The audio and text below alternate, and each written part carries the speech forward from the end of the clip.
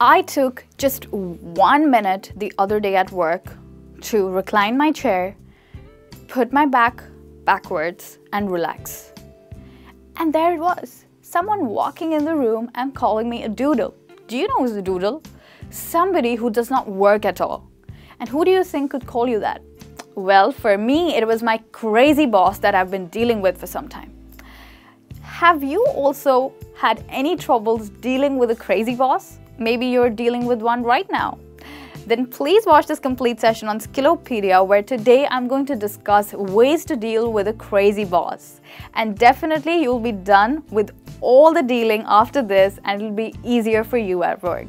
So make sure you watch the complete session on Skillopedia, the place to learn skills for the real world. My name is Michelle.